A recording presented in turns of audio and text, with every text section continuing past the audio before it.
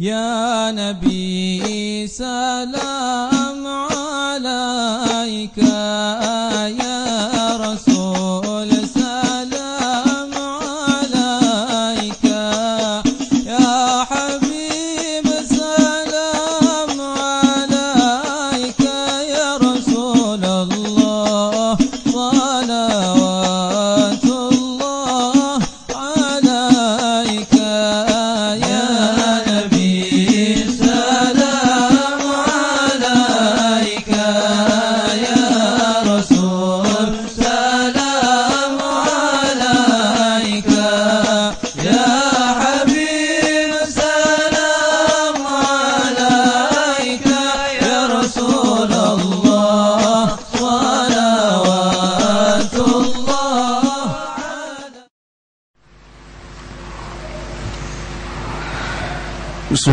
Bismillahirrahmanirrahim.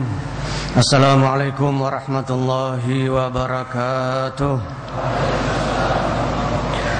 Alhamdulillahi rabbil alamin. Allahumma ya ni'mal maula wa ya ni'man nasir. Salli wa sallim adada ilmik ala sayyidina Muhammadin. Man ja'altahu lana hirzan harizan wa ala alihi wa sahbihi. Wansurna bihi wal muslimina bi asrari wa yansurakallahu nasran aziza Hadirin hadirat rahimakumullah. Guru-guru kita khususnya yang datang dari Tarim Hadramaut Al-Mukarram Al-Habib Hussein bin Abdurrahman Al-Habashi Dan juga Al-Habib Muhammad bin Ali bin Syahibuddin Syekh Ridwan Al-Amiri Guru kita yang menyampaikan sedikit terjemahan tadi apa yang dibaca oleh tetamu kita Munsyid kita yang datang dari Tarim Habib Muhammad bin Ali bin Syahibuddin dan juga para habib yang di sini Habib Ahmad Ali Drus Habib Nazir Al Musawa Habib Ramzi Al Musawa dan segenap yang hadir tetamu undangan baginda Rasulullah sallallahu alaihi wa wasallam. Hadirin hadirat rahimakumullah. Kelanjutan dari kitab risalah jami'ah pada malam Selasa yang lalu kita baca mengenai masalah mandi hadas atau mandi wajib. Yang berikutnya akan diterangkan dijelaskan oleh Al-Imam Al-Arif Billah Al-Habib Ahmad bin Zain Al-Habashi salah seorang murid daripada Al-Imam Al-Haddad mengarang kitab ini melanjutkan Bismillahirrahmanirrahim wa yanqudul wudu'a al-khariju min ahadis sabilaini al-qubuli awid dubur على ما كان وينقض الوضوء زوال العقل بنوم أو غيره إلا نوم ممكن مقعدته من الأرض. وينقض الوضوء مس قبل أو دبر آدمي منه أو من غيره ببطن الكف وبطون الأصابع. كبيرا كان أو صغيرا ولو ولده ميتا ولو ولده ولو ميتا. Hingga akhirnya Bismillahirrahmanirrahim wa yanqudul wudu.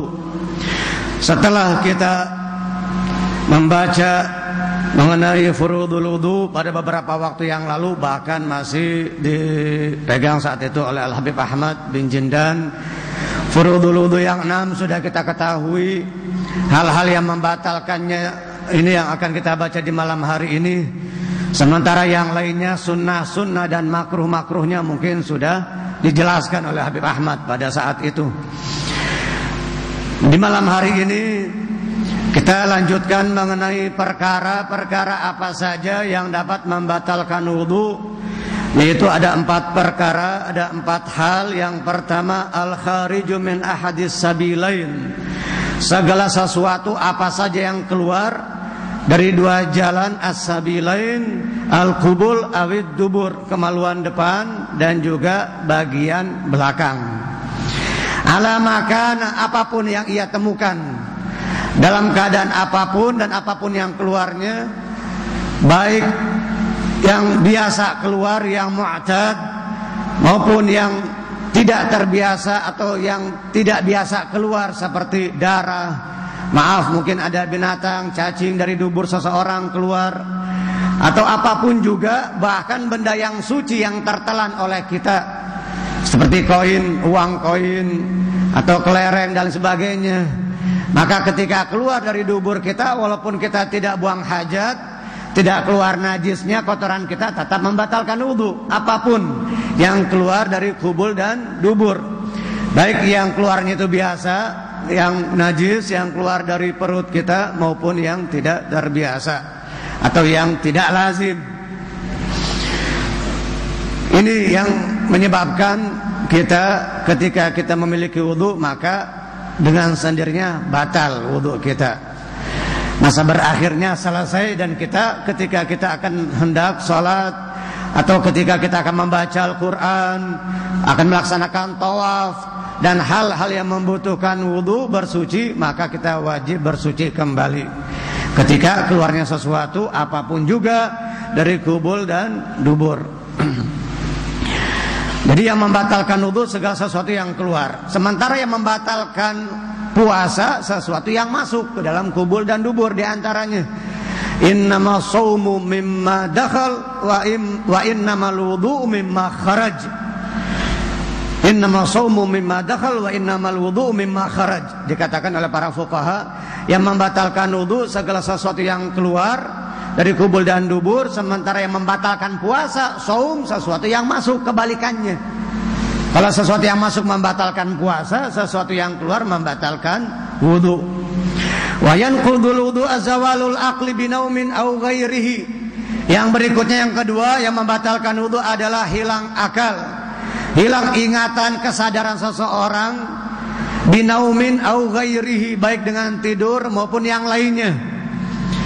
Seperti bisukrin au igma'in au jununin, seperti pingsan, gila dan mabuk. Seseorang pingsan, hilang kesadarannya karena pingsan atau karena wal billah mabuk atau karena gila, maka dengan sendirinya wudhunya batal karena hilangnya kesadaran, hilang akal. Binaumin au ghairihi baik dengan tidur maupun yang lainnya kecuali illa nauma mumakkinin mak adatahu minal ardi. Kecuali tidurnya seseorang yang rapat maaf antara tempat duduknya itu dengan duburnya. Ketika lubang duburnya itu rapat dengan tempat duduknya apa pun yang ia duduki, baik tikar, karpet, di lantai, di atas kendaraannya, di atas tunggangannya, baik di zaman dahulu mungkin onta, himar, keledai dan sebagainya atau sekarang kita di dalam jok mobil, di dalam kendaraan mobil. Kalau maaf dubur kita menempel dengan tempat yang kita duduki, rapat, tidak ada renggang dan celah, maka ketika itu seseorang tidur tetap tidak batal wudhunya. Tidak membatalkan wudhu, kecuali kalau dia bangun dia sudah berubah. Waktu dia bangun dia udah nungging, dia udah celentang, dia yanamu ala kofa tidur dengan tengkoknya leher bagian belakang atau terlentang atau dia berbaring mutaji dan seterusnya Kecuali kalau dia bangun dalam posisi sudah berubah. Ketika dia awal tidur sampai dia terjaga, waktu dia sadar kembali bangun ternyata posisinya masih rapat antara dubur dengan tempat duduknya, maka itu tidak membatalkan wudhu. Di dalam hadis baginda Rasulullah SAW bersabda, al ainani wika usah, faida namatil ainan istatlaqal wika. Kedua mata ini digambarkan, diperumpamakan seperti ikatan. Wika usah, ikatan tali dubur. Ketika mata sudah tertidur, kita sudah tidak sadar lagi, sudah tertidur, maka tali ikatan dubur kita terlepas. Kita tidak bisa mengontrol apa yang keluar dari dubur kita, apakah ada sesuatu yang keluar baik angin maupun yang lainnya, kita nggak sadar, kita nggak tahu. Kecuali kalau rapat tadi antara dubur dengan tempat duduknya tidak ada celah maka tidak membatalkan wudhu. Waman nama faliyatawaddo dalam hadis yang lain. Siapa yang tidur maka hendaklah dia berwudhu. Waman nama falyatawaddo. Tapi wudhu juga bukan hanya ketika kita akan sholat. Pas mau sholat kita baru wudhu. Masuk masjid juga disunahkan baru wudhu. Ketika akan menghadiri majelis-majelis ilmu seperti ini, majelis zikir, majelis salawat juga kita disunahkan berwudu. Dan masih banyak lagi sunnah-sunnah yang harus kita perhatikan khususnya di dalam bab wudu. Wa yanqudul wudu ama suqubulin aw duburi adamiyyin minhu aw min ghairihi. Yang berikutnya yang ketiga yang membatalkan wudu adalah seseorang menyentuh kemaluan depan kubul baik laki maupun perempuan maupun duburnya bagian belakang tapi kemaluan dan dubur uh, manusia sementara menyentuh memegang kemaluan dan dubur binatang tidak membatalkan wudhu tidak membatalkan wudhu karena yang disebut adamiyin. Kubul dan dubur manusia.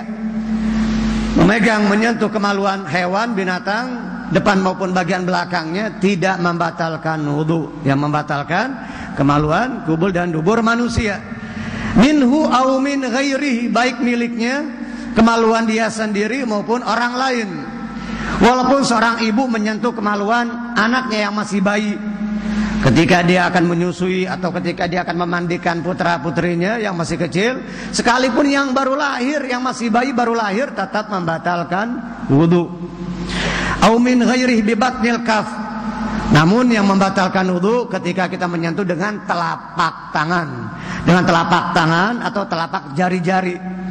Bagian telapak. Sementara bagian punggungnya tidak membatalkan wudhu. Ketika seseorang mungkin dia akan menyentuh menggaruk kemaluannya dengan punggung tangan ini tidak membatalkan wudhu. Boleh. Karena yang membatalkan hanya telapak tangan yang segi empat ini dan telapak jari-jari. Adapun telapak jari Ketika kita gabungkan seperti ini keduanya kanan dan kiri, ya bagian yang tidak terlihat itulah yang ketika kita menyentuh kemaluan membatalkan wudhu. Sementara kalau yang ibham, ibu jari, jempol ketika kita rapatkan keduanya seperti ini. Nah, namun ketika seseorang dia menyentuh kemaluan seperti orang laki memegang kemaluannya lalu dengan jarinya seperti ini bagian sampingnya ini tidak membatalkan wudhu dengan bagian sampingnya karena ini kan bagian yang terlihat. Nah, sementara yang membatalkan itu yang membatalkan ketika kita menyentuh dengan bagian yang tidak terlihat ketika kita rapatkan seperti ini. Adapun bagian sampingnya maka tidak membatalkan wudhu ketika kita menyentuhnya. Jadi kalau kita buang air kecil, kencing, kita pegang begini. Ini batal apa enggak nih wudhunya? Batal ya. Yang batal kencingnya bukan megangnya. Kalau megangnya nggak batal begini, hanya sekedar megang nggak batal, tapi kalau yang membatalkan ya kencingnya itu, baulnya, al baul. Eh. Bibatnil kafi wa butunil asabi' dengan telapak tangan dan telapak jari-jari kabiran kana au sagiran baik yang sudah balik yang besar maupun yang masih kecil alias yang belum balik. Walau waladahu walau mayitan sekalipun anaknya sendiri. Sekalipun si orang tua, bapak dan ibu menyentuh kemaluan anaknya sendiri atau bagian belakangnya, walaupun yang kita sentuh itu yang sudah mayit, yang sudah wafat, yang sudah menjadi jenazah, yang sudah menjadi mayit. Sementara jenazah di dalam bahasa Arab, kalau mayit itu sudah diletakkan di dalam keranda mayat. Sudah diletakkan di dalam an-na'ash, keranda mayat, kurung batang, itu baru disebut jenazah.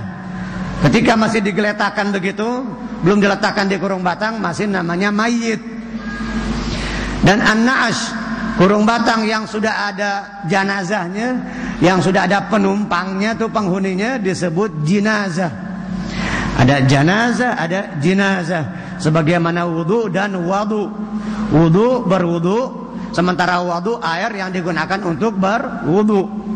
Air yang digunakan untuk berwudu disebut al-wadu bi fathil wawi dengan dibaca fathah huruf wawunya. Wadu. Kemarin juga beberapa waktu yang lalu ada al-ghuslu, al-ghaslu dan al-ghislu. Al-ghuslu mandi, al-ghaslu membasuh atau mencuci, al-ghislu alat atau sesuatu yang dicampur atau yang digunakan untuk mandi seperti sabun atau yang lainnya. Wa butunil asabi'i kabiran kana au saghiran walau walau waladahu walau mayitan. Sekalipun anaknya sendiri sekalipun sudah mayit. Ini bagi jamaah. Saya menghimbau mengajak di antara jamaah yang hadir ini mungkin ada waktu di pagi atau sore hari. Kebetulan saya ada anak santri di rumah juga ada pesantren di depan rumah saya yang sedang dibangun dan sudah diberi nama setahun yang lalu oleh guru kita yang mulia Al-Imam Sayyidil Habib Umar bin Hafidh diberi nama Al-Imdad. Kalau majlis saya Abdiya Ulami, majlisnya sudah lama Abdiya Ulami. Sementara kalau, kalau pesantrennya Mahat Al Imdad. Dan mohon doanya dari antum sekalian. Mohon doanya biar cepat selesai pembangunannya. Sudah ada anak santri sekitar hampir dua tahun yang lalu mukim di rumah saya. Ada delapan anak sekarang yang mukim Yang dahili sementara yang khariji Yang dari luar ada beberapa anak yang pulang pergi Mungkin di antara jamaah MR ini Ada waktu kosong pagi, siang atau sore hari. Ada beberapa ustadz juga yang kita minta untuk memperbantukan mengajar di pesantren kita Al-Imdad Ada yang memegang bahasa Arab, Nahu Saraf Ada yang pegang uh, tajwid, Al-Quran. Ada yang memegang pelajaran sirah atau tarikh, sejarah hidup baginda Rasulullah sallallahu alaihi wasallam dan yang lainnya silahkan. Di antara jamaah yang ada waktu mungkin bisa ikut hadir yang pagi, yang pelajaran pertama setengah delapan sampai jam sembilan atau pelajaran yang kedua al-hissatu tsaniyah setengah sepuluh sampai jam sebelas atau yang ba'dal asar atau yang ba'dal maghrib silahkan. Di mana alamatnya?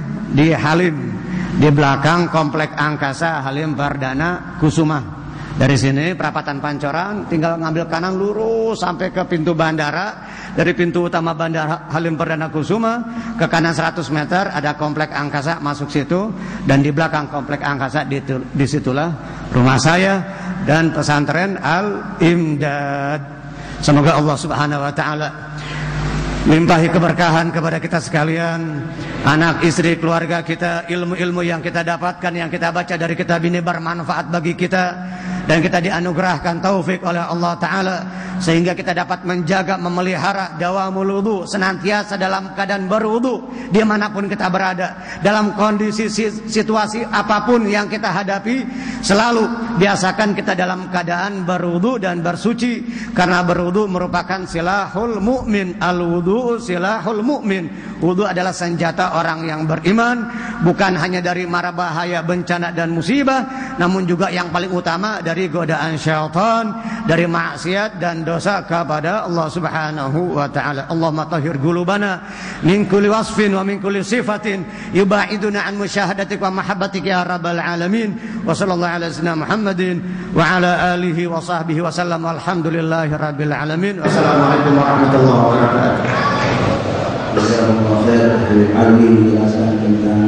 Tentang hal-hal yang membatalkan wudhu baru satu dijelaskan oleh beliau mudah-mudahan kita tahu sehingga ya kita bisa mengerti apa saja yang membatalkan dulu ya.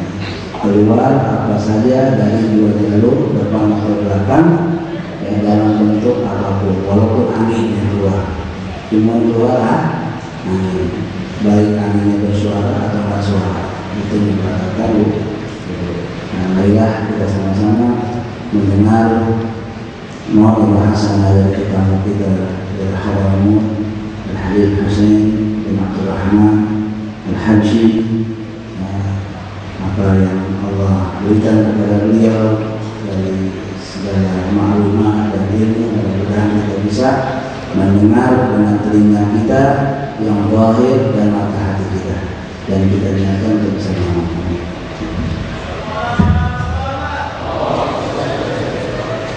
قل على محمد.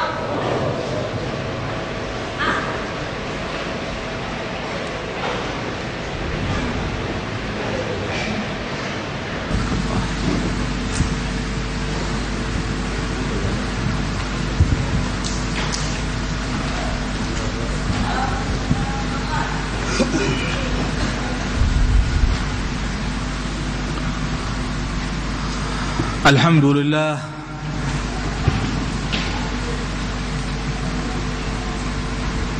الباعث المانح الكريم الفاتح الذي جمع لنا عظيم الموانح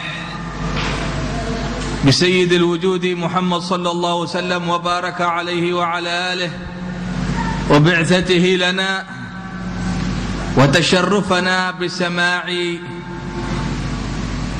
خطابه بواسطة أهل العلم والنور حتى وصل إلى أسماعنا ووصل بعد ذلك منه إلى قلوبنا اللهم فهيئ القلوب للعمل والتخلق بأخلاقه ظاهرا وباطنا Segala puji bagi Allah Subhanahu wa taala yang telah mengutus dan membangkitkan baginda Rasulullah sallallahu alaihi wa alihi wasallam dan telah memberikan anugerah karunia kepada kita dengan keluasan ilmu Rasulullah sallallahu alaihi wasallam kebaikan dengan berkat diutusnya Rasulullah SAW maka terpancarlah segala kebaikan di muka bumi ini dengan utusnya baginda Rasulullah sallallahu alaihi wasallam.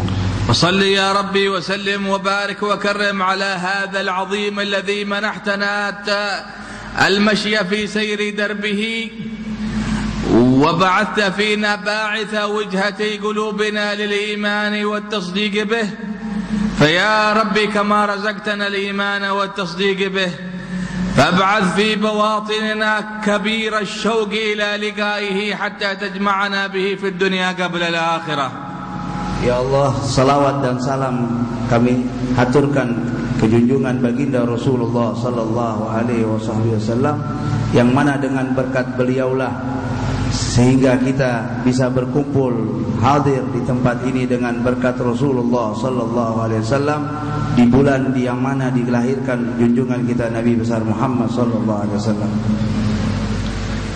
وصلي معه على آله الأطهار وأصحابه الأخيار ومن على منهاجه سار وادخلنا يا أرحم الراحمين في بركاتهم في واسطة هذا الجمع سربل الجميع بالقبول والإقبال.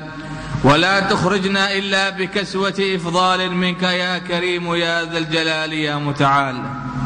Begitu juga salawat dan salam kepada keluarga baginda Rasulullah SAW dan para sahabat Nabi Muhammad SAW dengan berkat mereka lah akan mengeluarkan kita dari jalan kegelapan ke jalan yang terang menderang dengan keutamaan anugerah yang Allah berikan kepada mereka Allah lah subhanahu wa ta'ala yang maha pemurah dan maha pengasih memberikan itu semua kepada kita وبعد فإنكم في روضة من رياض الجنة ولكم بها وقاية من النار وجنة وذلكم بعظيم توجه قلوبكم إلى الشرع وإلى المشرع محمد صلى الله عليه وسلم وبارك عليه وعلى آله Ketahuilah bahwasanya kita di dalam taman-taman sorganya Allah Subhanahu wa taala. Kita duduk di sini berarti berada di tamannya sorganya Allah Subhanahu wa taala dan kita di dalam benteng perisai yaitu wigaya daripada api neraka yang Allah Subhanahu wa taala bentengi kita dengan berkat ini majlis dan keberkahan dari baginda Rasulullah sallallahu alaihi wasallam. والمنة في كل الأحوال إنما هي لله فلا منة لي ولا لكم في وجودكم إلى هذا المسجد ولا إلى هذا المجلس ولا إلى مؤسسه ولا إلى أشياخنا ولكن المنة حقيقة لله ببعثة المصطفى محمد. صلى الله وسلم وبارك عليه وعلى آله.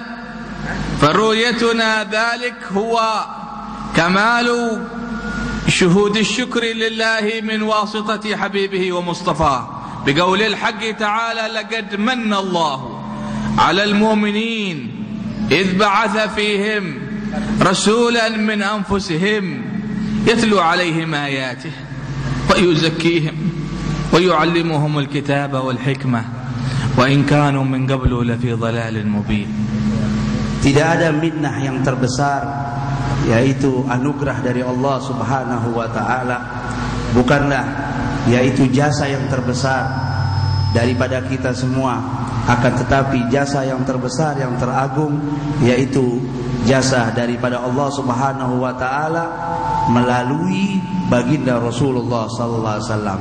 Beliaulah Rasulullah sallallahu alaihi wasallam adalah minnah dari Allah Subhanahu wa taala, pemberian anugerah yang terbesar yang diberikan kepada umat Islam yaitu sebagaimana Allah Subhanahu wa taala berfirman dalam Al-Qur'an Allah Subhanahu wa taala qad manallahu 'alal mu'minin Allah telah memberikan anugerah yang terbesar kepada orang-orang yang beriman dengan apa? Dengan diutusnya baginda Rasulullah sallallahu alaihi wa alihi wasallam yang mana tugas beliau yatlu alaihim ayati yaitu membacakan ayat-ayat yaitu ayat-ayat Al-Qur'an penjelasan dari Allah Subhanahu wa taala wa yuzakkihim dan memberikan ke tazkiyah pembersihan kepada umat dari hal-hal yang tercela diberikan oleh Rasulullah sallallahu alaihi wasallam kesucian sehingga mereka mengetahui hal-hal yang terpuji di sisi Allah Subhanahu wa taala berkat diutusnya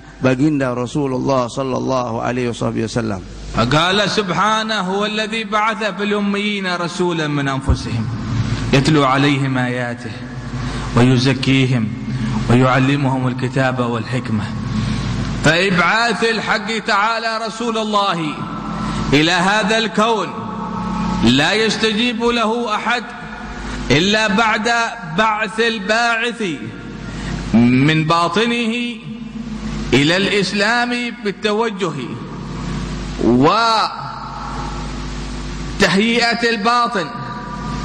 لأن تتلقى مرآة قلبه مشاهدة الذات المصطفوية لتنقدح الصورة في الباطن فيترجم بعد ذلك حقيقة السلوك لهذا النبي وحقيقة الاقتداء بهذا النبي وحقيقة الشوق إلى هذا النبي المصطفى محمد صلى الله عليه وسلم وبارك عليه وعلى آله.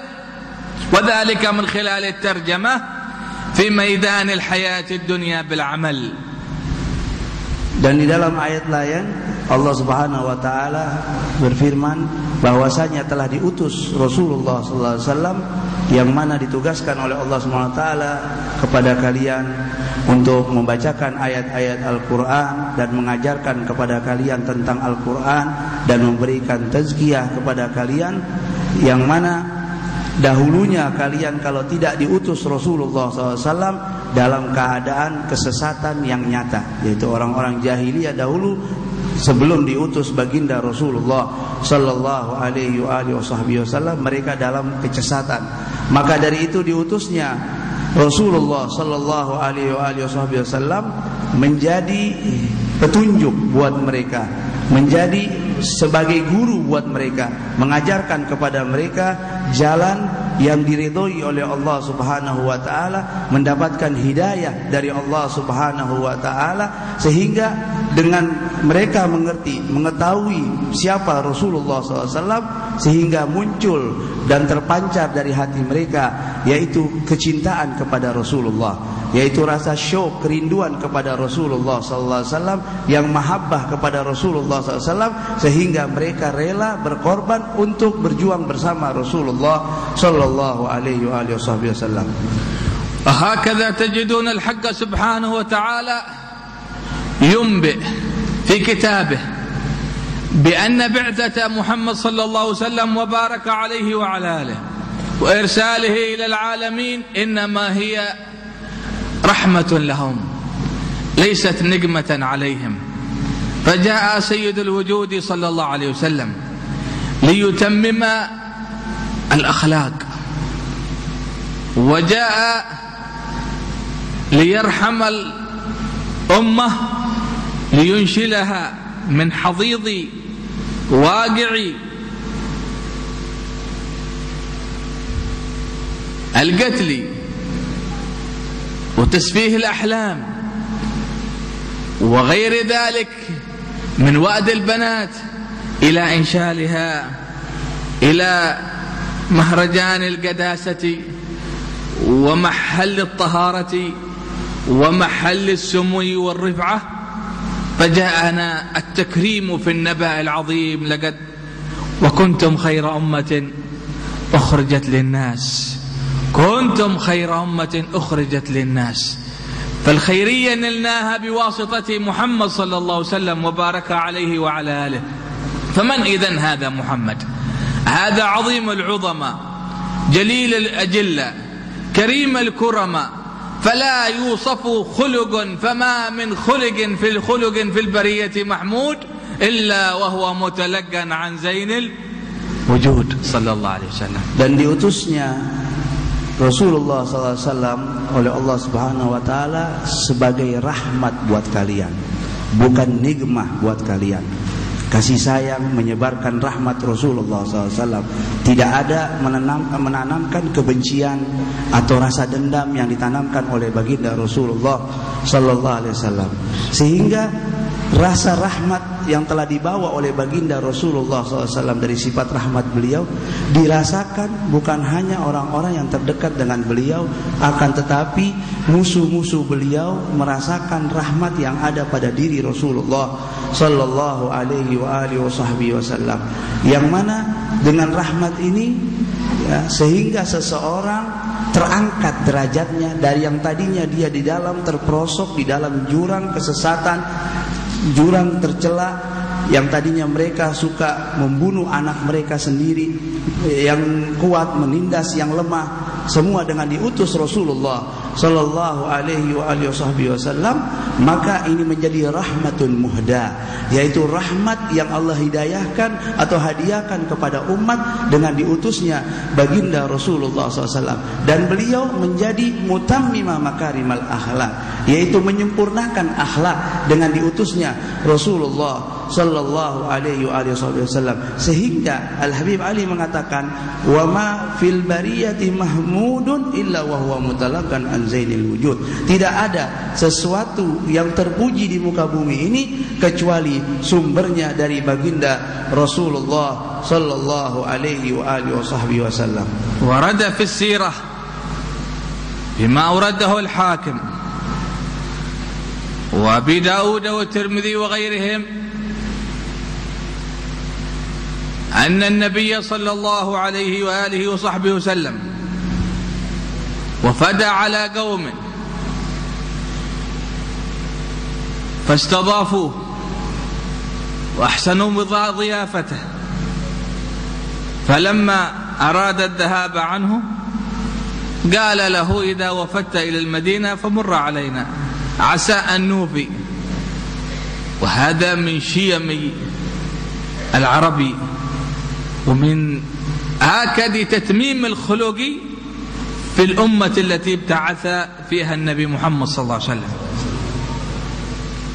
فمر الوقت وإذا بالرجل هذا يأتي إلى المدينة فيسمع به رسول الله فيستضيفه. فاستضافه رسول الله وأكرمه. وأكرمه من الأعراب. وبعد أن أكمل الإكرام له صلى الله عليه وسلم. قال له تمنى علي.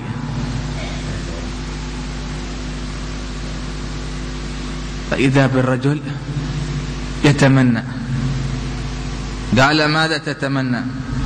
قال يا محمد أتمنى ناقة عشرة حاملا. أتبلغ بها. تبسم رسول الله صلى الله عليه وسلم وقال قولته الشهيرة أيعجز أحدكم أن يكون كعجوز بني إسرائيل Pernah satu kali diriwayatkan di dalam sirah sejarah Rasulullah SAW diriwayatkan oleh Imam Hakim dan Imam Abi Daud pada suatu hari Rasulullah SAW dalam perjalanan hijrahnya dari Mekah ke Madinah Al-Munawwarah di perjalanan dia dapat ada satu orang laki-laki yang menjamu Rasulullah SAW ya. Mengundang Nabi Muhammad SAW menjamu dengan jamuan. Maka Rasulullah SAW menjadi tamunya ini orang.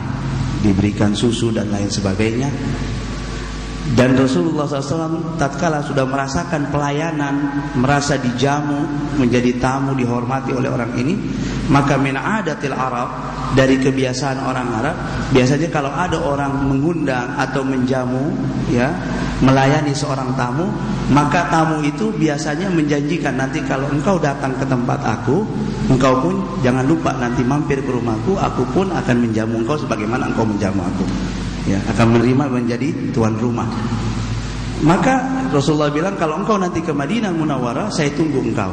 Kata Rasulullah SAW, ya aku pun akan mengundang engkau datang ke rumahku. Maka berjalanlah waktu tidak lama kemudian maka Rasulullah SAW sampai ke Madinah Munawwarah, sampai tinggal di Madinah Munawwarah. Tiba-tiba ini orang laki-laki ini dia datang berkunjung ke Madinah Munawwarah. Waktu dia berkunjung ke Madinah Munawwarah, Rasulullah mendengar si fulan ini yang dahulu pernah menjamu dia, ya. Maka ini orang ada di Madinah. Maka Rasulullah dengar cari tahu, maka diundang oleh Rasulullah SAW. Ditepati janjinya oleh Nabi Muhammad SAW. Ya, pada Nabi ngomong sudah lama, tapi Nabi bilang kalau datang ke Madinah, engkau datang ke rumahku, maka engkau aku ya, aku jamu menjadi tamuku. Setelah dijamu sama Rasulullah SAW ini orang sudah makan, sudah kenyang, maka Rasulullah SAW menanyakan kepada orang ini mengatakan tamanna minni masyid. Silakan engkau bercita-cita atau berkeinginan apa? Apa saja yang kau mau dari aku? Apa yang kau inginkan dari aku? Ya, seharusnya kan minta sorga, minta apa? namanya ini orang badui dia minta apa ana minta 10 ekor onta mintanya 10 ekor onta yang hamil supaya nanti pada beranak itu onta punya onta lagi onta lagi jadi banyak tersenyum Rasulullah SAW permintaannya cuma minta balasannya 10 ekor onta.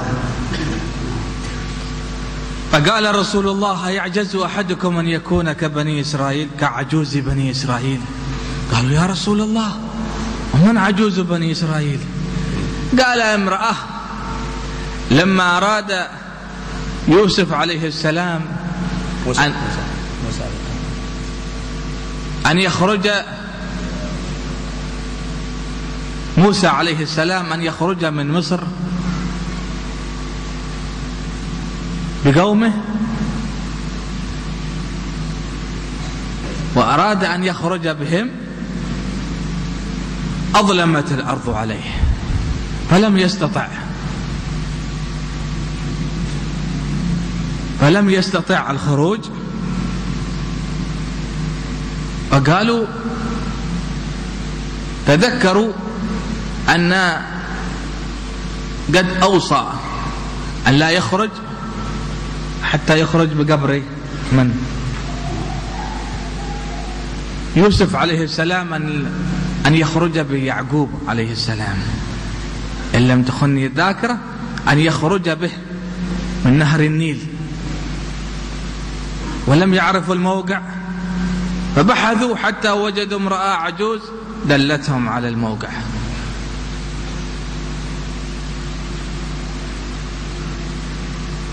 فدلتهم على الموقع من من موسى عليه السلام في بقبر يوسف عليه السلام من من من نهر النيل أو يعقوب عليه السلام. فقالت إنه في المكان الفلاني فدلتهم عليه فأخرجوا ضريحه وصندوق تابوته وهو على ما عليه. وأخرجوه كاملا ثم قفلوا به عندما أرادوا الخروج من أرض مصر. فقال لها موسى عليه السلام يا عجوز تمني علي. فكانت قبل ذلك قالت لا أدلك على قبره حتى تلبي لي الطلبات. قال وما طلباتك؟ قالت أن أرجع شابة وأن يبدل وجهي وشعري كله بجمال. ها؟ وأن يرد من العماء إلى البصر. والثالثة قالت وأن أكون رفيقتك في الجنة. الله. فموسى رأى؟ هذا الطلب كبير. رفعه إلى رب العزة. قال حتى أستأذن. إذا برب العزة يقول أجب وأطعها. فأجاب وأطاعها ثم دلته على على القبر فأخذ هذه الجثة وخرج بها فقال النبي أيعجز أحدكم أن يكون كعجوز بني إسرائيل؟ يعني إذا جاء واتسع المجال للتمني فما بالك أن تتأخر في تمنيتك وفي طلبتك وفي رغبتك؟ وإذا حضرت مثل هذا المجلس مجلس محمد سيد الوجود صلى الله عليه وسلم. ينبغي أن تسمو الهمة وتكبر العزيمة ويفحل عندك الطلب والأرب للرب سبحانه وتعالى لأنك تسأل كريم وترجو رحيم لتنال التكريم والتحشيب بواسطة هذا النبي العظيم محمد صلى الله عليه وسلم. Lanjutan dari cerita tadi, tatkala ini orang umat dari umat Rasulullah SAW yang menjamu Nabi tadi minta 10 ekor ontak yang hamil semuanya. Maka senyum Rasulullah SAW sambil berkata, ayat ajazu ahadukum ayyakuna misla ajuz bani Israel. Apakah kalian nggak sanggup, nggak mampu untuk menjadi mencontoh nenek-nenek yang ada di Bani Israel? Siapa itu nenek-nenek ditanya ini mas sahabat. Gimana ceritanya? Maka diceritakan oleh Rasulullah SAW di zaman Bani Israel, Nabi Musa alaihissalam ya masuk suatu kampung, maka Allah perintahkan kepada Nabi Musa jangan keluar engkau dari kampung itu kecuali menziarahi kuburnya seorang nabi min ya minal anbiya Bani Israel. Ada yang mengatakan kuburnya Nabi Yusuf ada yang mengatakan kubur bapaknya Nabi Allah Yakub alaihissalam maka orang kampung itu kan sudah lama meninggalnya sudah lama, nggak ada yang tahu kuburannya kecuali sisa ini nenek yang tahu. Orang yang paling lama di kampung ini nenek nenek. nenek.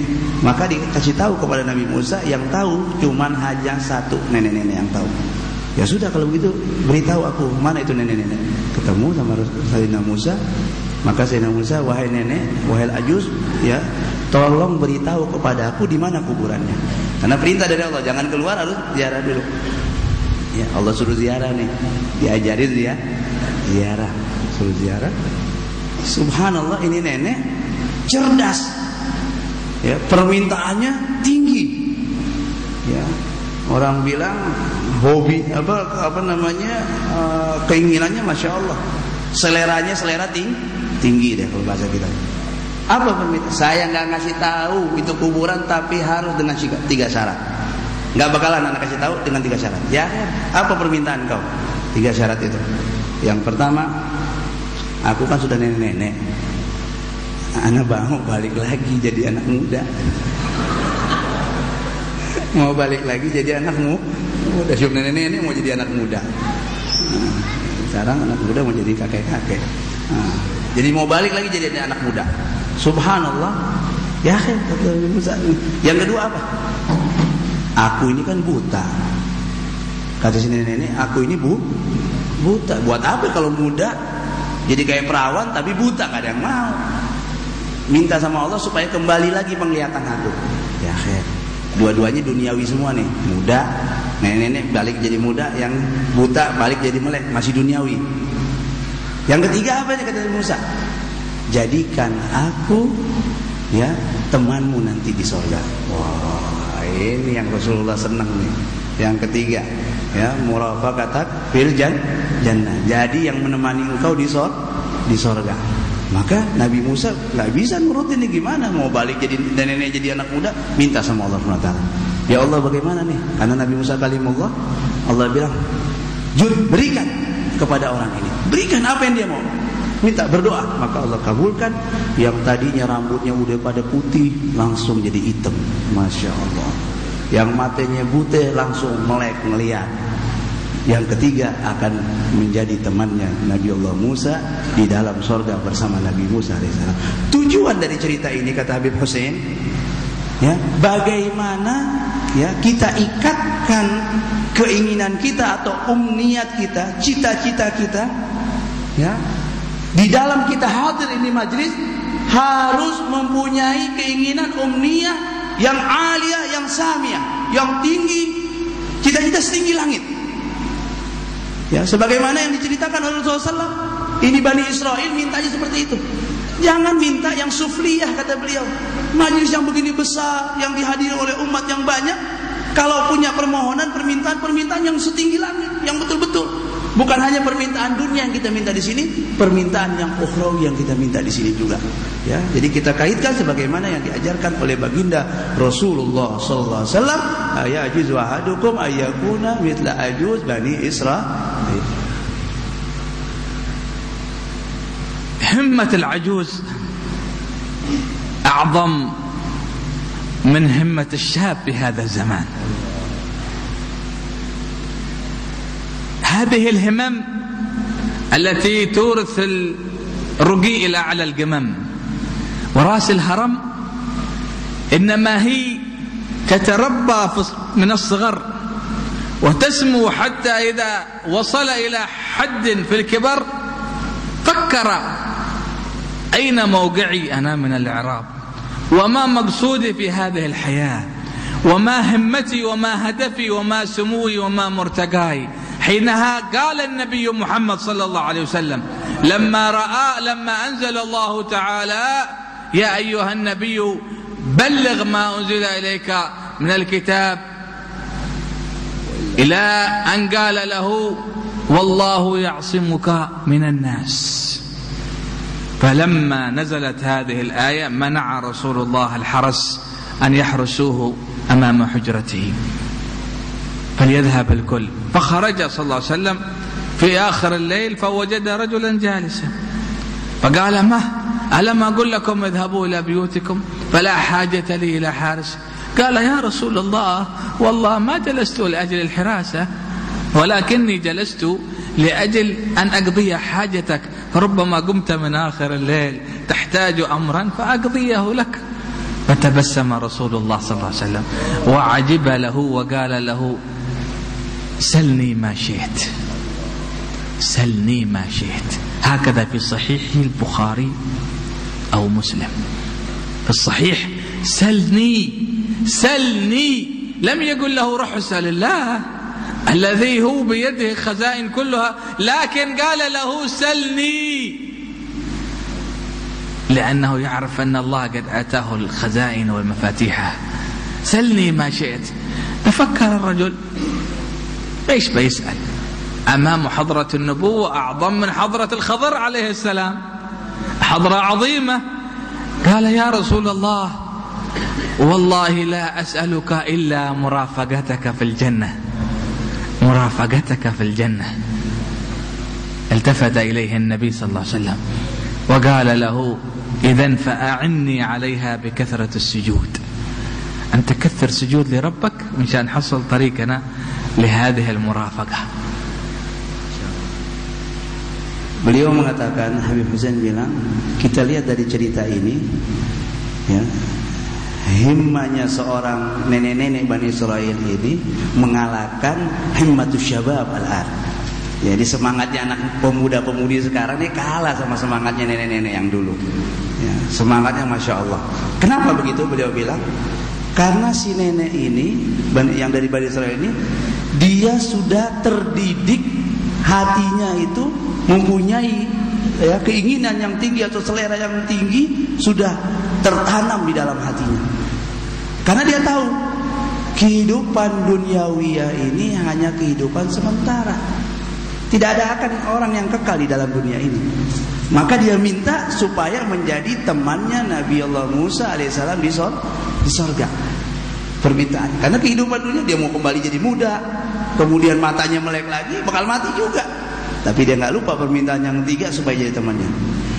Maka dari itu, tatkala turun ayat Allah Subhanahu wa taala berfirman ya setelah mengatakan ya Allah telah menurunkan ayat-ayat Al-Qur'an kepada engkau ya Muhammad maka engkau sampaikan apa yang yang Allah turunkan kepadamu harus sampaikan ini risalah kepada umat kemudian Allah mengatakan dalam Al-Qur'an wallahu ya'simuka minan nas Allah yang menjaga engkau yang melindungi engkau dari mara bahaya yang mau disakiti oleh manusia jadi orang mau menyakiti Rasulullah SAW, mau membunuh Rasulullah SAW, yang jaga langsung, yang turun tangan Allah Subhanahu Wa Taala. Karena Rasulullah waktu di Mekah diganggu, ya gangguan bertubi-tubi kepada Rasulullah SAW. Sehingga rumah Rasulullah SAW saat itu dijaga oleh para sahabat. Mereka khawatir nanti Rasulullah dibunuh. Maka sekeliling rumah Rasulullah dikawal dan dijaga oleh para sahabat Nabi. Tatkala turunnya ayat Allah yasimu minan nas, Allah yang menjaga engkau dari manusia, maka Rasulullah SAW menyuruh mereka bubar. Ya sudah nggak usah ada yang jaga lagi. Udah pulang pulang. Sudah turun ayat Allah yasimu minan nas turun. Malah semua sahabat pada pulang masing-masing ke rumahnya. Tiba-tiba Di malam hari Rasulullah waktu keluar, dia dapati ada seorang pemuda sedang duduk di depan rumah Rasulullah SAW. Maka Rasulullah bilang, apa yang kau kerjakan di sini? Aku duduk di sini ya Rasulullah SAW. Apakah engkau tidak mendengar? Aku sudah memerintahkan kepada engkau bahwasanya engkau pulang sudah Allah yang menjaga aku. Tidak perlu dijaga lagi rumahnya, tidak perlu security. Rumah Rasulullah SAW sudah dijaga oleh Allah, dilindungi oleh Allah Taala. Sesungguhnya aku duduk di sini bukan untuk menjaga rumahmu ya Rasulullah. Akan tetapi aku duduk di sini kata ini sahabat, aku menunggu barangkali engkau malam-malam punya hajat, ada keperluan apa yang aku bisa bantu sehingga aku bisa membantu. Keperluan engkau, keperluan engkau bisa aku bantu kata ini sahabat. Mendengar hal itu membuat Rasulullah SAW bergembira. Maka gembira, senang, girang Rasulullah SAW. Dia duduk bukan mau jagain rumah Nabi, tapi mungkin Nabi nanti keluar di malam hari perlu hajat, ada perlu apa, saya bisa membantu Rasulullah SAW. Ini diriwayatkan dalam Sahih Muslim. Nabi tanya sama ini orang. Nabi bilang apa? Salni masyid. Mintalah engkau kepadaku apa saja yang engkau mau. Lihat, beliau bilang garis bawah di sini, ini hadis sahih di dalam Sahih Muslim. Rasulullah nggak bilang sal ya salillah masyid. Minta saja sama Allah apa yang kau mau. Nabi bilang apa? Salni minta sama aneh. Syuk ngajarin tauhid Rasulullah Ya Rasulullah bilang apa? Minta sama anak salni. Mayugul salillah. Minta sama Allah. Syirik. Jangan minta sama manusia. Mintanya sama Allah. Tapi Nabi bilang salni. Minta sama aku. Diam dulu. Gak langsung jawab nih orang. Mikir, mikir, mikir. Apa ya kira-kira ini permintaan yang mantap. Karena kesempatan terkadang tidak datang dua kali. Dua kali. Ini tambahan dari saya. Kesempatan tidak datang dua kali. Ini harus jujur. ya kan? Kesempatan tidak datang dua kali. Minta. Maka dia mikir, dia bilang as'alu as'aluka murafaqataka fil jannah. Aku minta kepadamu supaya aku menjadi teman dudukmu nanti di sorga. Permintaan yang tinggi. Tapi lihat di sini Rasulullah bilang apa? Maka Rasulullah SAW A'inni ala dalik Bikathratis sujud bantuin aneh dong banyak-banyak sholat maksudnya banyak su sujud supaya engkau nanti akan bersamaku nanti di sorga ini ajaran yang daripada baginda Rasulullah SAW untuk mengajarkan kepada umat meminta bercita-cita yang tinggi kepada Allah Subhanahu wa taala. وهكذا. عندما تسمو الهمم ويعرف الواحد ما مراد الله له من خلقه وما مقصود الله تعالى في إيجاده على ظهر هذه الأرض. في طولها والعرض ليعرف نبل الغاية وشرف المقصد الذي يقصده من حيث إرادة الله تعالى له وتهيئة الظرف له. وبحمد الله تهيئت الظروف في كوننا قبلنا رسالة الإسلام. فما رسالة الإسلام المقلدة بها أعناقنا إلا عبارة عن معاملة من حيث الأمانة والصدق والعفة في النظر عن المحرمات والغض والطرف وحفظ اللسان وحفظ الجنان والعمل بالأركان بقواعد الاسلام والإيمان للسمو إلى الإحسان فهذه هي الموانح التي منحك الله تعالى من حيث الباعث الذي بعثه في باطنك. لتعرف مقصدك وغايتك في هذه الحياة فتنال بذلك شرف المرافقة للنبي محمد صلى الله عليه وسلم والمشي على الصراط من الدنيا قبل الآخرة. فإن المشي على الصراط من هنا قبل هناك. والصراط عبارة عن الأحكام التي تركها لك سيد الوجود صلى الله عليه وسلم. فإن مررت عليها من هنا بحفظك وحفظ جوانبك كلها على الشريعة تهيأ لك الحس في المشي هناك. وإن تلكأت هنا وتلعثمت كان مرورك على الصراط هناك مصعب وبطيء على قدر إعراضك أو إقبالك على المعصية. فبقدر كرهك للمعصية بقدر جريك على الصراط يوم القيامة وبقدر كثرة صلاتك على النبي محمد صلى الله عليه وسلم بقدر النور الذي يكون أمامك للمرور على الصراط فقد قال صلى الله عليه وسلم صلوا علي فإن الصلاة علي نور لكم على الصراط يوم القيامة.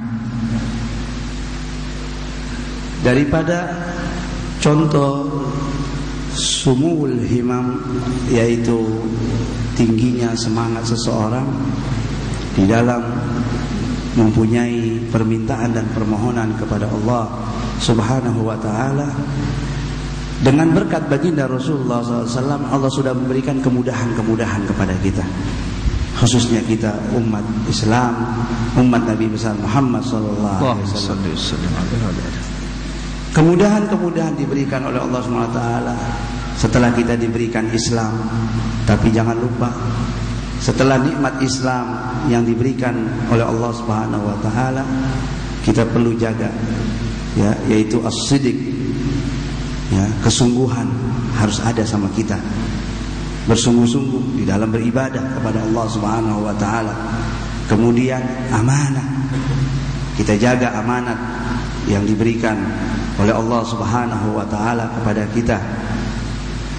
Yang kemudian yang ketiga kita menjauhkan diri kita daripada perbuatan maksiat.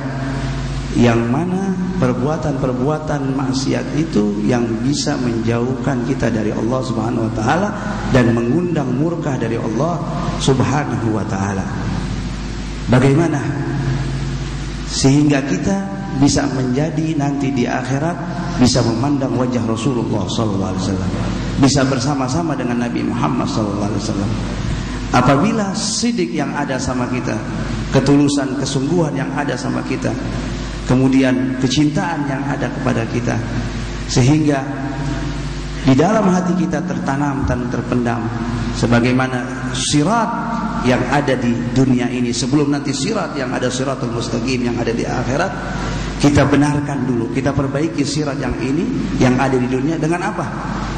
Mau tahu cepatnya jalannya kita nanti tatkala melewati sirat di atas ya jembatan jahanam maka tergantung dari mana rasa kurah yaitu kebencian kita kepada maksiat yang kita perbuat sebesar apa kebencian kita apabila seseorang berbuat maksiat tiba-tiba dia membenci itu maksiat dan cepat-cepat kembali untuk taat kepada Allah Subhanahu wa taala.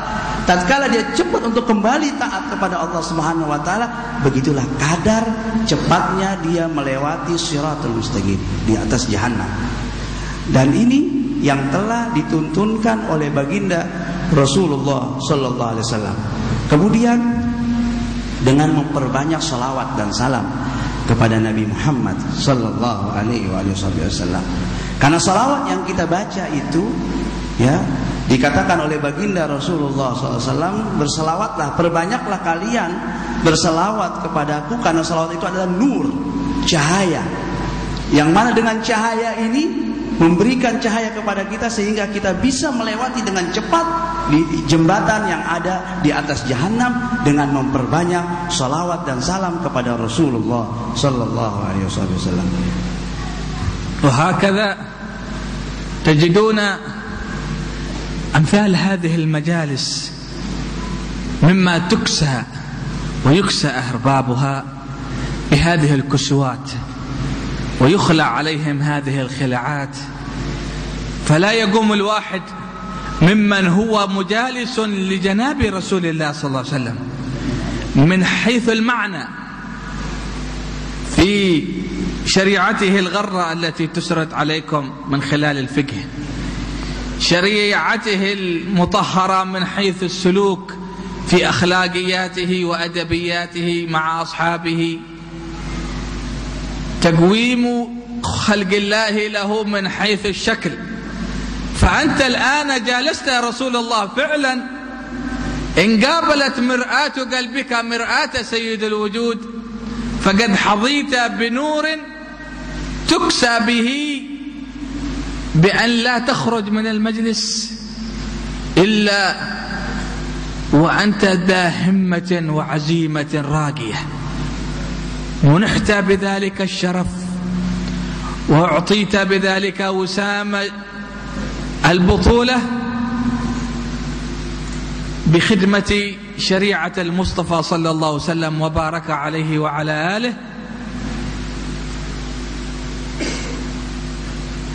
وتثبيت قواعد سيرك إلى الله تعالى من خلال محافظتك على الصلوات الخمس.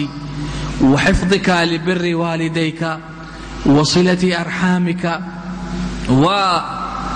وهمتك العظيمة لنيل الدرجات القويمة لتسلك بذلك مسلك الصدق ومسلك المحبة ومسلك الهناء ومسلك القرب من الحق والقرب من رسوله صلى الله عليه وسلم لتستلذ بأحكام الشريعة.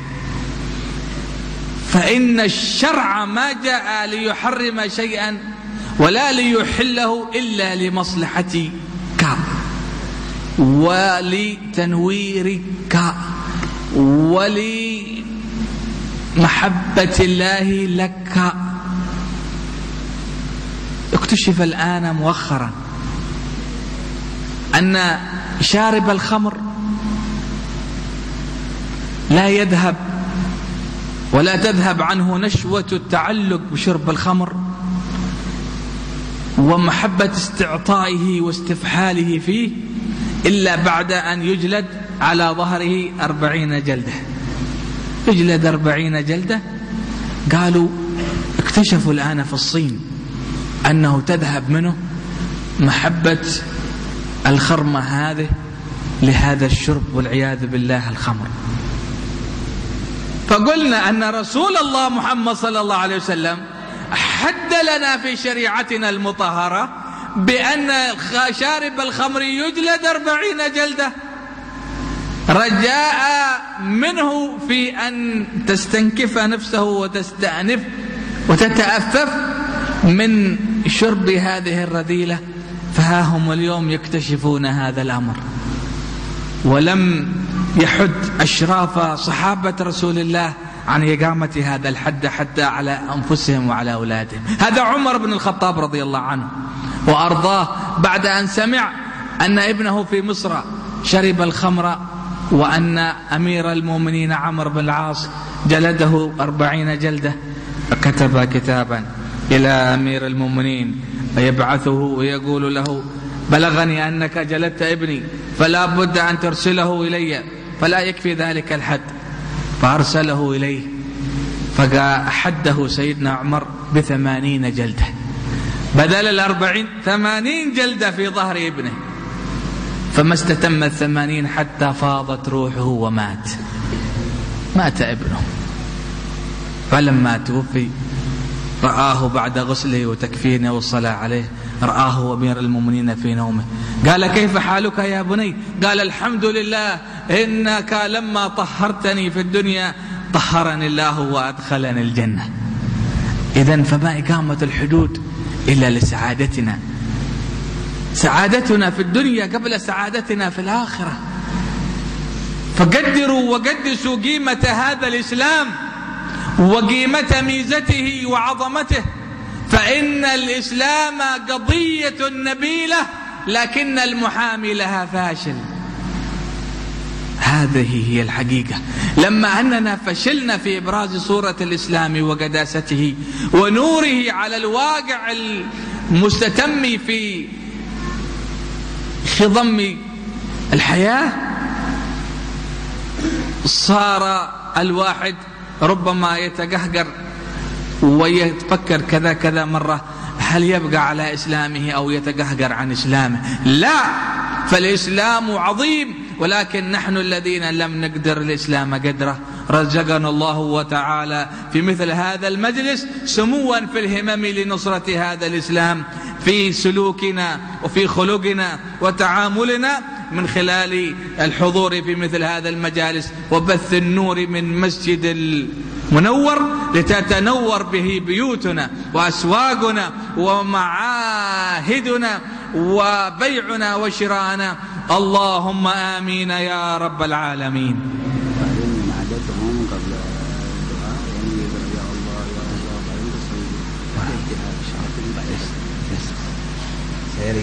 ini panjang banget nih. Ya, yang nyangkut deh, insya Allah ada yang nyangkut. Amin. Amin. Jadi beliau bilang, kita ini duduk ya di malam hari ini, duduknya kita di sini sebetulnya kita coba kita bayangkan bagaimana janabah Rasulullah SAW. Jadi kedudukan Nabi Muhammad SAW. Kenapa beliau mengatakan begitu? Beliau bilang karena kita sekarang berada di majlisnya Rasulullah SAW. Ya, kita bayangkan, kita resapi dalam hati kita sehingga mir'ah cermin yang ada di dalam hati kita atau yang ada sama kita kita hadapkan cermin itu kepada Rasulullah sehingga dengan cermin itu kita bisa berkaca dengan Rasulullah SAW. Yang kita jadikan cermin di sini, yang untuk kita lihat, yang untuk kita contoh adalah cermin kita, kita hadapkan kepada Rasulullah. Kita punya cermin, jangan sampai cermin kita balikkan begini, sehingga kita cuma lihat muka kita doang. Yang kita lihat cuma diri kita saja. Akan tetapi beliau bilang balikkan itu cermin, kita hadapkan cermin itu di hadapan Rasulullah SAW. Sehingga yang kita lihat, yang kita pandang selalu dalam kehidupan kita sehari-hari yaitu Rasulullah SAW. Khususnya kalian, wahai anak-anakku yang hadir di majlis Rasulullah. Sehingga dengan cermin ini kita bisa mengambil daripada akhlak ajaran Rasulullah SAW. Tadi kita sudah baca ya sebelumnya dengan ajaran Rasulullah SAW dari hadir kita majlis ini bertambah mahabbah kita kepada Rasulullah SAW bertambah sidik kita, ketulusan kita kepada Rasulullah SAW. Dengan hadir majlis ini bertambah birrul walidain kita, bakti kita kepada kedua orang tua kita. Itu daripada manfaat apabila cermin itu kita hadapkan kepada Rasulullah. Bagaimana kita berbakti kepada kedua orang tua kita. Kemudian dengan cermin itu bagaimana kita menjaga sholat kita yang lima waktu. Dalam keadaan bagaimanapun, bagaimana di mana pun tidak akan kita meninggalkan sholat yang namanya lima waktu. Dengan cermin itu kita akan menjauhkan daripada perbuatan maksiat. Dengan dibacakan syariat yang ada di dalam kitab misal jamiah, hukum-hukum syariat alhamdulillah diajarkan di majlis ini dengan hukum-hukum syariat. Tidaklah tujuan Allah Subhanahu wa taala mengharamkan sesuatu kepada Bani Adam, kepada kita atau menghalalkan sesuatu kepada kita kecuali di dalam diharamkan sesuatu itu kepada kita dan diharamkan sesuatu kepada kita itu ada manfaat dan maslahat untuk kamu kata beliau. Untuk kalian. Nggak mungkin haramnya atau halalnya suatu hukum diberikan oleh Allah SWT kecuali ada maslahatnya kepada kalian. Ada maslahatnya. Allah tidak menghalalkan sesuatu atau mengharam sesuatu kecuali karena mahabbatullahi laka. Kecintaan Allah Subhanahu wa taala kepada engkau. Kalau Allah nggak cinta Allah nggak menghalalkan atau mengharamkan sesuatu.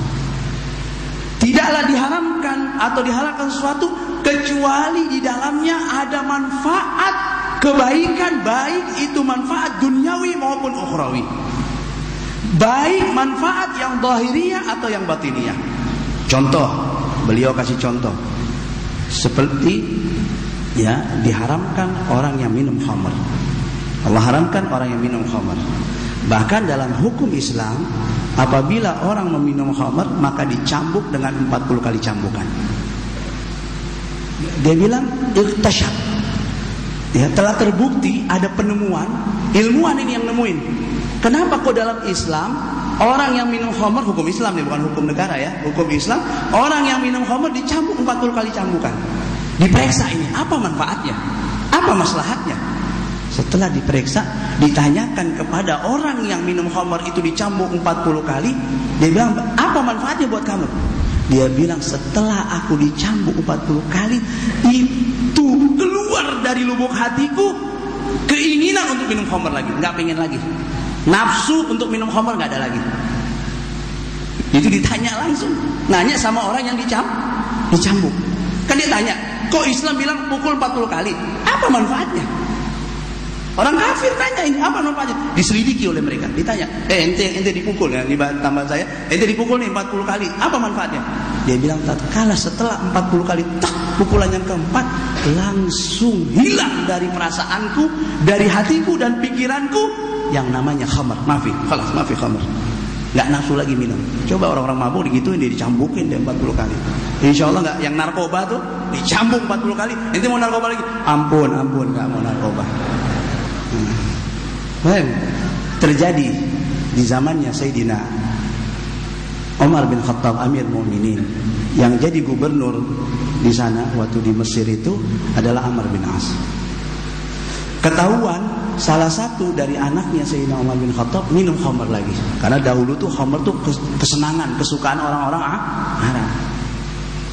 Ketahuan, maka tatkala mau dihukum anaknya Amir Mu'minin kirim surat dulu dong izin sama presidennya anak ente mau dihukum tuh maka Amir Mukminin Sayyidina Umar itu gubernur ini presiden Amir Mukminin dikirim surat sampai balas sama Sayyidina Umar jangan hukum anak saya. Oh bingung nih.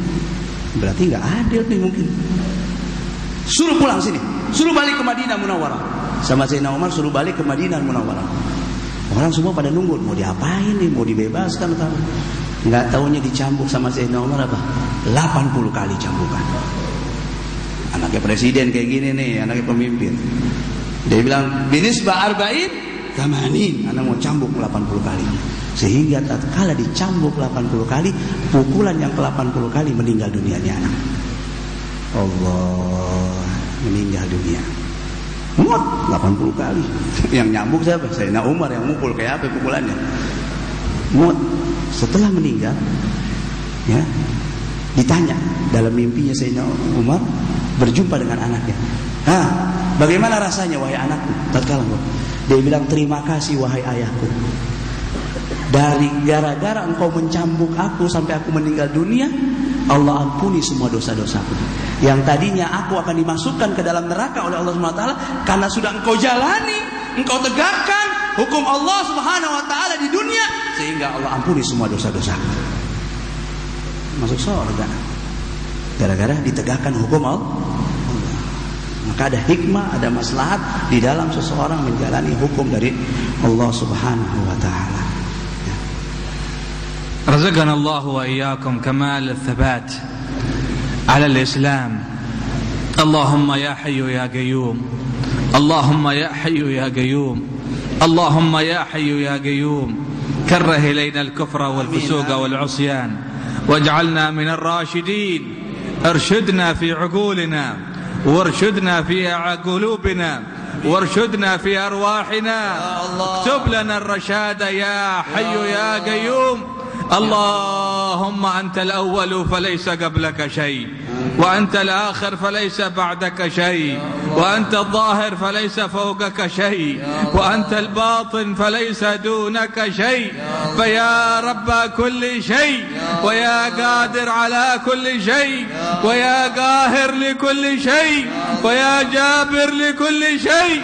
نسألك اللهم أن تقهر أعداءنا من النفس والشيطان والهوى والدنيا فتسلك بنا مسالك الحنفاء. يا حي يا قيوم يا أرحم الراحمين ويا أكرم الأكرمين. اللهم إنا نسألك من الخير كله عاجله وآجله والخير كله في شريعتك وشريعة رسولك محمد. اللهم فحبب إلينا هذه الشريعة اللهم حبب إلينا هذه الشريعة وحبب إلينا هذا المشرع الكريم.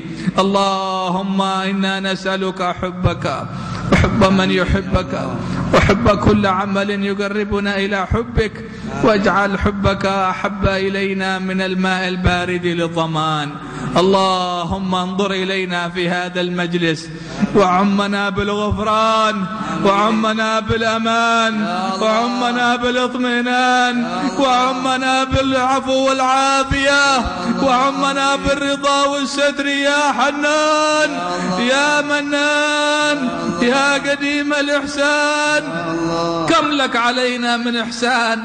إحسانك القديم يا الله. يا الله يا الله يا من لا يرجى سواه ولا يطلب عداه. عبيدك واقفون ببابك عبيدك منيخون بأعتابك. عبيدك راجيون لجنتك عبيدك طالبون لرضوانك. اللهم لا حرمت أعيننا من النظر إلى وجه حبيبك في الآخرة. اللهم لا حرمت أعيننا من النظر إلى وجه نبيك في الآخرة. يا الله يا الله. يا الله.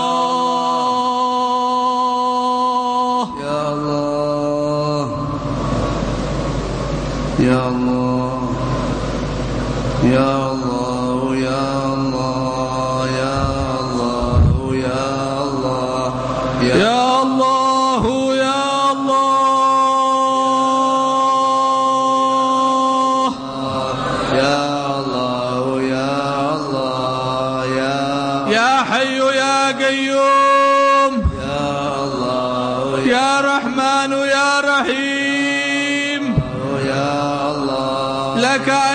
بالساعة وصلت وبالسماء انشقت وبالأرض زلزلت وبالسماء شمس كورت وبالنجوم انكدرت وبالعشار عطلت وبالوحوش حشرت.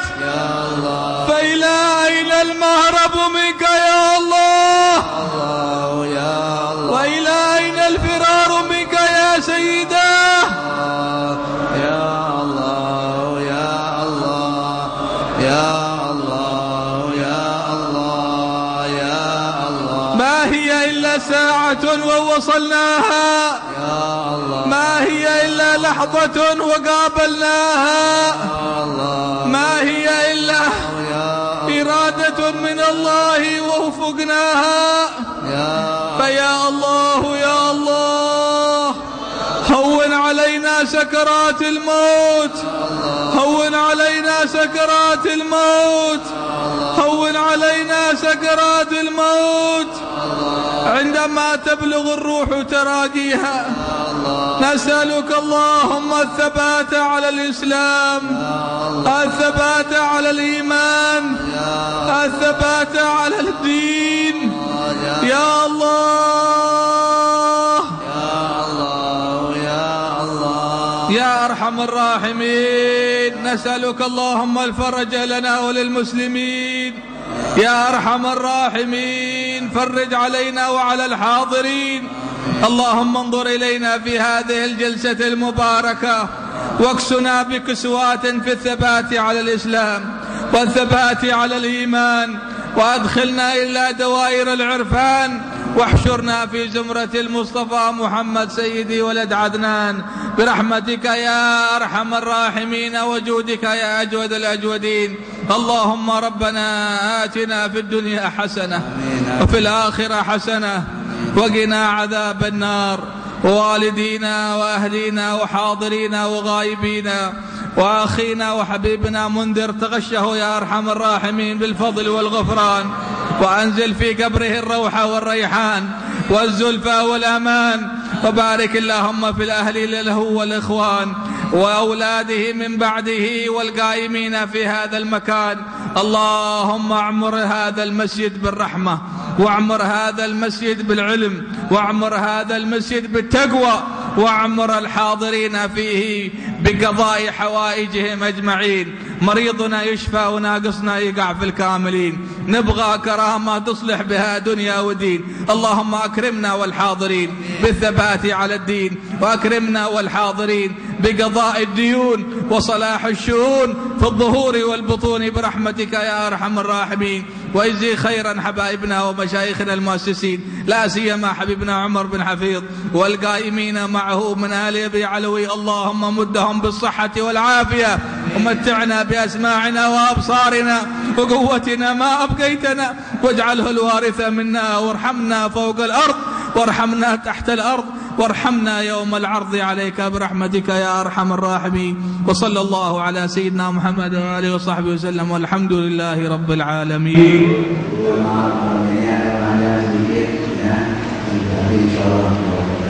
maaf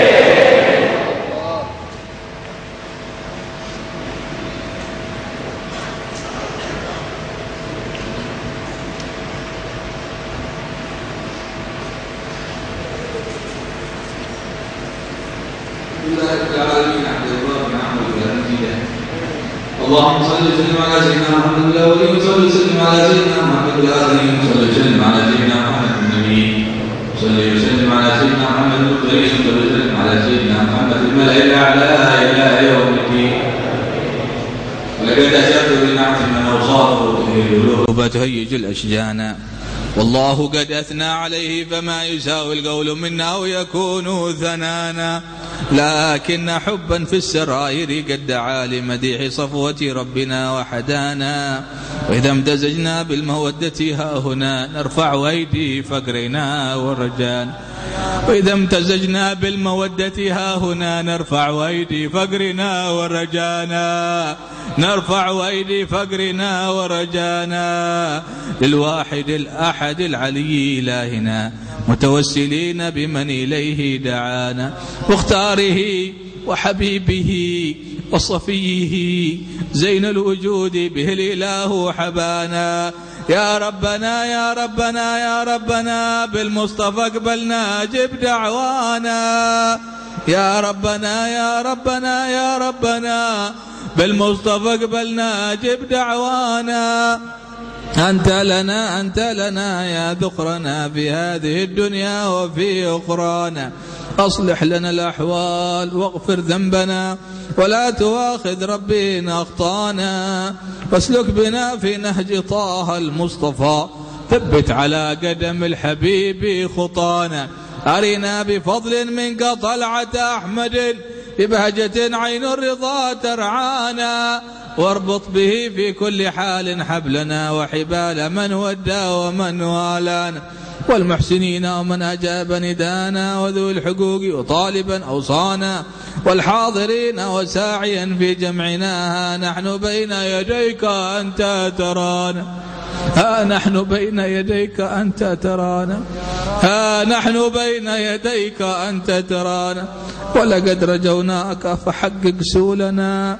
واسمع بفضلك يا سميع دعانا وانصر بنا سنة طه في بقاع الأرض واقمع كل من عادانا. وانظر إلينا واسقنا كاس الهنا واشفي وعافي عاجلا مرضانا.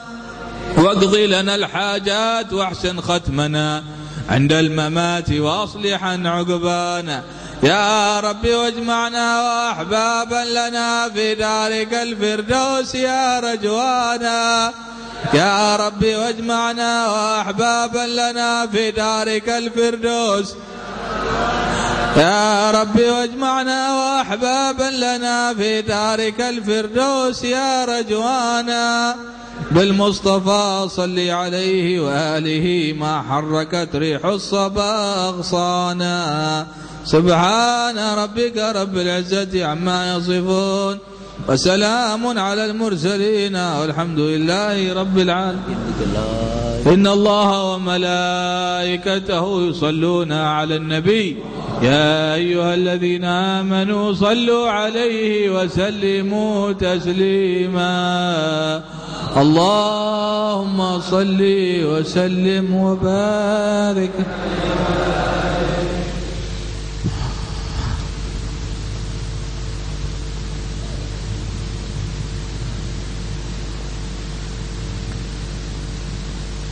أفضل ما قلت أنا والنبيون من قبلي على ما قال رسول الله صلى الله عليه وسلم ما قاله شيخنا الكمل عاد فقير مقدم لا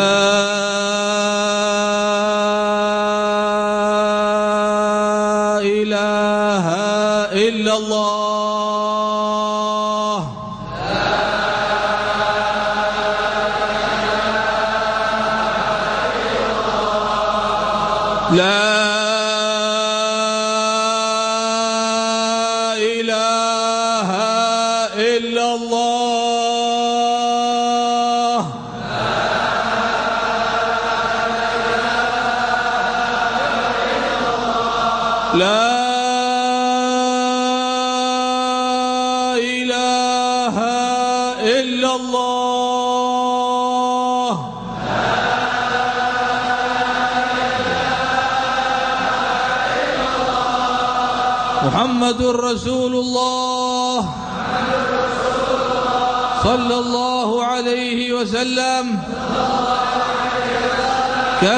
حق عليها نحيا وعليها نموت وعليها وبها نبعث إن شاء الله من الآمنين الذين لا خوف عليهم ولا هم يحزنون برحمتك يا أرحم الراحمين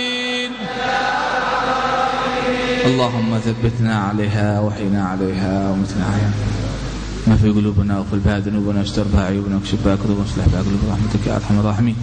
الفاتحة بالقبول نيل كل سوء المامول وأنواع الكمل من عباد الله الفحول. إن الله سبحانه وتعالى يدرج نياتنا في نياتهم واعمالنا في أعمالهم واخلاقنا في أخلاقهم وأدابنا في أدابهم. وسلوكنا في سلوكهم وحياتنا في حياتهم. اللهم أكرمنا ولا تهنا وزدنا ولا تنقصنا. أعطنا ولا تحرمنا. واثرنا ولا تؤثر علينا. بارك اللهم لنا في الأقوات والأوقات. واصلح لنا الأحوال والنيات. وعاملنا بلطفك الخفي يا رب. كل شيء بقدرتك على كل شيء. اكتبنا من السعداء. وان نلنا مقامات السعداء. وحينا حياة السعداء. وتوفنا وفاة السعداء. والشهداء. وفاة من تحب ولقاها اللهم أكرمنا وزدنا. وعلمنا معلومك اللدنية. وأسرارك الصافيه الهنية. وسرب هذا الجمع بالقبول والإقبال. وأهلنا لكل كمال. وانشر بنا يا أرحم الراحمين رايات المصطفى محمد مولى بلال. حيث ما كنا وأينما كنا واجعلنا به من أسعد السعداء في الحس والمعنى. ظاهرا وباطنا اللهم لا تخرج احدا من هذا المجلس إلا وقد أعطيته سوله ومامولة. وبلغته امله في ظاهره وباطنه واكحل اعيننا برؤية النبي محمد ظاهرا وباطنا ويجزي خيرا مؤسس هذا المسجد والمتقدمين فيه. والمؤسس هذا المجلس حبيبنا منذر والقائمين والمستعين. اللهم اغفر للجميع وتجاوز عن الجميع واربطنا بالشفيع النبي محمد صلى الله عليه وسلم واحشرنا مع خواص خواص أهل البقيع. في خير وعافية بسر الفاتحة إلى حضرة النبي.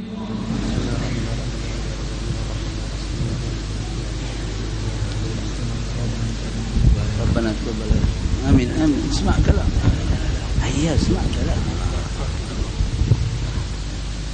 اللهم صل وسلم على سيدنا محمد لا تهدي وصلاتك المستقيم.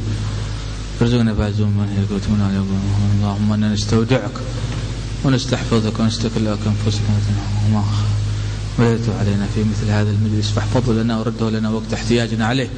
واحتياجنا الذي برحمتك يا أرحم الراحمين. ربنا آتنا في الدنيا حسنة وفي الآخرة حسنة وقنا عذاب النار.